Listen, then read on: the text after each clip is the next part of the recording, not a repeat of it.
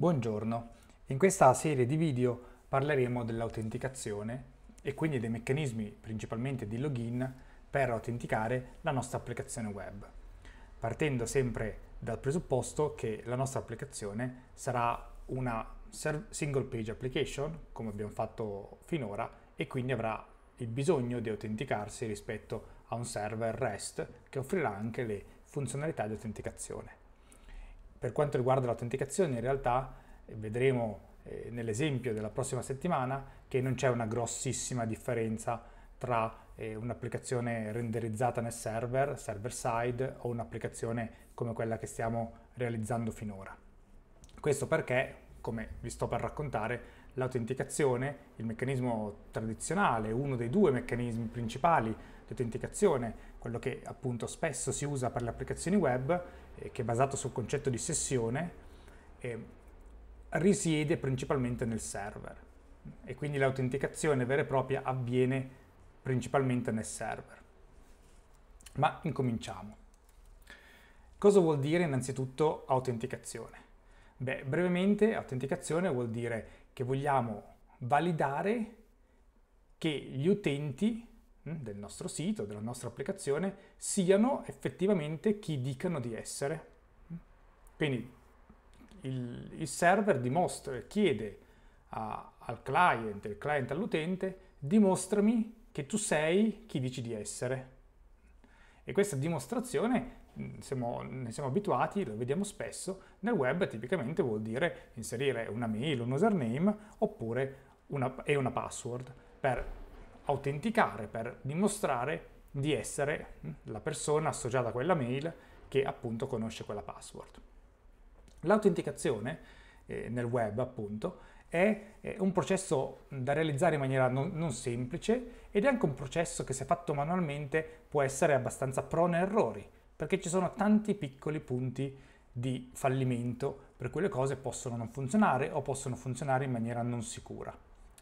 E ci aiuta in questo processo che appunto non è semplice ed è, ed è appunto prone a errori il fatto che ci siano tante best practice, perché come immaginate tutti i siti fanno autenticazione, hanno un qualche tipo di autenticazione, quindi da anni, quindi è un processo che si è appunto ben consolidato ed è una specie di, si è diciamo standardizzato in un certo senso. E l'autenticazione è appunto il processo che sta alla base del login ed è spesso, sempre nel web, fatto con credenziali.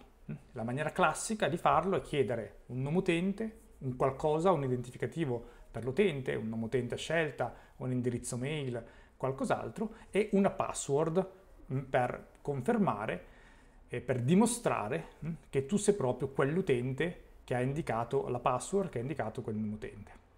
Ovviamente esistono tonnellate di alternative eh, che alcune di queste le accenneremo nel discorso, ma ovviamente non le eh, affronteremo. Mm? Alternative che valgono per il web e alternative che valgono anche al di fuori del web.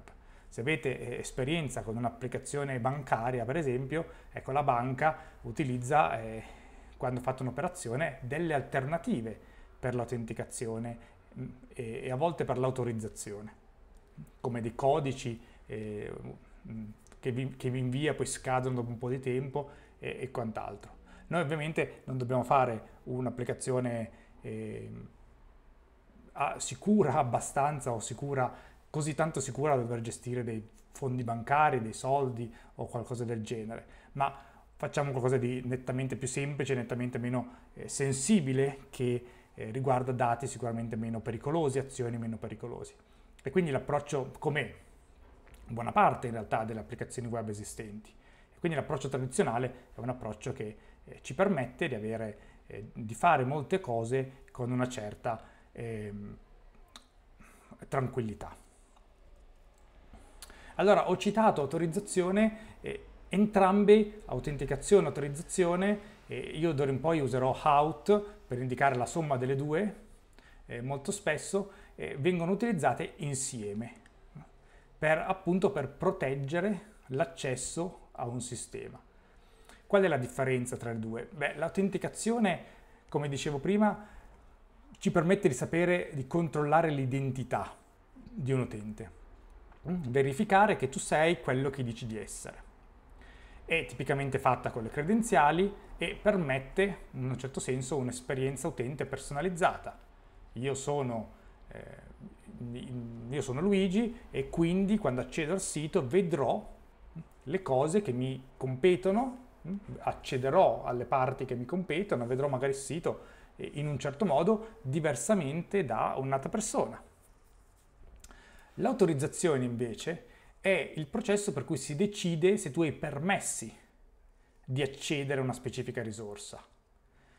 E, in, non solo per accedere, ma anche cosa puoi fare in quella specifica risorsa.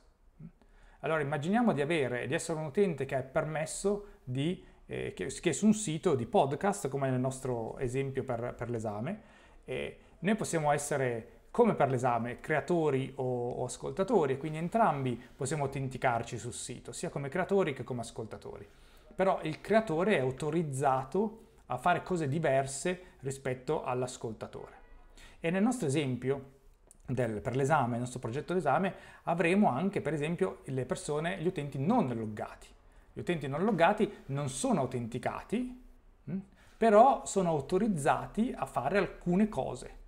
Ci sono cose di cui tutti hanno autorizzazione di fare e cose di cui devi avere, devi esserti autenticato per poterle fare e in base a, al, al, processo di autenticazione, a come ti sei autenticato, puoi avere o meno certi diritti di autorizzazione.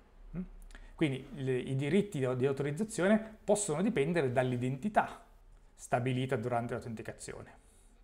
Di nuovo l'esempio eh, dell'esame è mh, mm, ben calzante.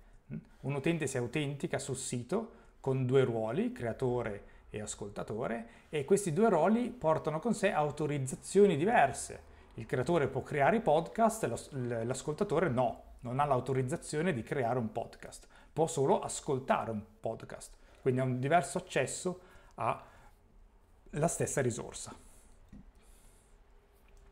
Ma come vi dicevo prima, l'autenticazione, l'autorizzazione insieme o separatamente sono comunque meccanismi. Che nel web sono complicati, proni errori, time consuming da realizzare, e possono richiedere interazioni con sistemi di terze parti.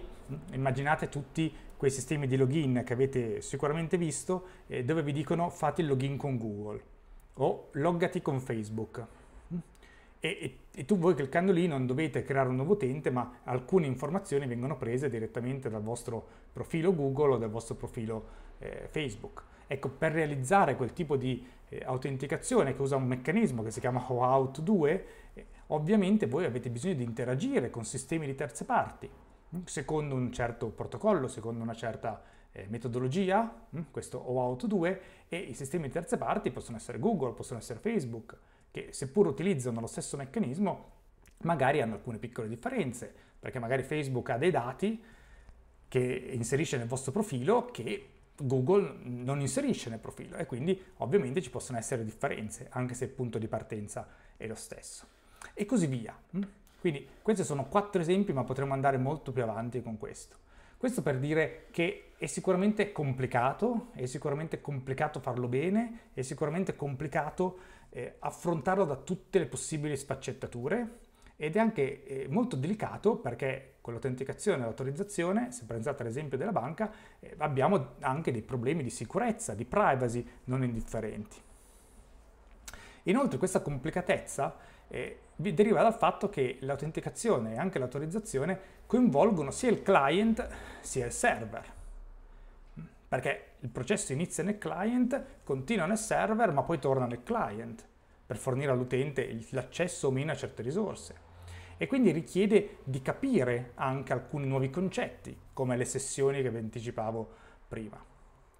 Eh, in generale, quando parliamo di autenticazione e autorizzazione, e questo faccio, è un disclaimer che faccio adesso, ma eh, vale per tutto il resto di, di questa lezione, è meglio se noi ci appoggiamo e sfruttiamo le best practice che già esistono, i processi, diciamo, pseudo standard, le buone norme, eh, i framework, le librerie che ci semplificano e eh, fanno già loro quello che, diciamo, il lavoro sporco che ci serve eh, sotto il cofano da fare per realizzare l'autenticazione e l'autorizzazione in maniera ottimale, in modo da evitarci di eh, commettere errori. Errori che hanno anche un impatto, come dicevo, sulla parte di sicurezza, sulla parte di privacy e quant'altro. E in generale, se possibile, eh, quando si fa autenticazione e autorizzazione, soprattutto se farete un sito web, un'applicazione web eh, da, da, poi sviluppare, da, da rilasciare al pubblico, eh, anche in base a, a, cosa farà la vostra applicazione web, se sarà un'applicazione per, per i podcast è sicuramente molto diverso eh, da un'applicazione di e-commerce, e-commerce dove ci sono degli acquisti, dove ci sono dei soldi in gioco, eh, che è molto diverso da un'applicazione bancaria che ovviamente ha tutti gli altri eh, requisiti, o un'applicazione per fare trading online di azioni che ha un alto livello, ha un altro livello di sicurezza perché ci sono cifre anche economiche e, e requisiti eh, importanti a, alle spalle. Quindi quando parliamo di autenticazione e autorizzazione è anche importante, eh, se possibile, avere avvisi, avere direzione da chi, da esperti di sicurezza che possano anche orientarvi eh, nelle scelte pratiche, soprattutto non tanto per lo sviluppo e la prototipazione eh, o ai fini di un esame, ma soprattutto nel mondo eh, reale e per lo sviluppo di certe categorie di applicazioni in particolare. Noi affronteremo brevemente velocissimamente alcuni aspetti fondamentali di sicurezza dell'autenticazione e dell'autorizzazione, perché alla fine sia autenticazione che autorizzazione rientrano nel dominio della sicurezza e quindi due cose, le cose base che ci servono sapere, ci servono dire, eh, le, dobbiamo, le, dobbiamo, affrontare, ma molto lo lasceremo fuori perché non è eh, ovviamente tra gli obiettivi di questo corso, non possiamo fare tutto in questi, in questi sei crediti. Già stiamo facendo probabilmente tanto. Come dicevo, per affrontare l'autenticazione e l'autorizzazione ci servono due, eh, due, concetti nuovi, un concetto e una tecnologia specifica. Il concetto è quello delle sessioni e la tecnologia invece è quello dei cookie, che saranno l'oggetto del prossimo video.